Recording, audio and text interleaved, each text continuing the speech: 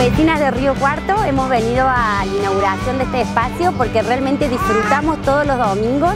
Es maravilloso lo que pasa, así que estaría bueno que vengan y que disfruten y que vivan esto con sus niños como lo hacemos nosotras.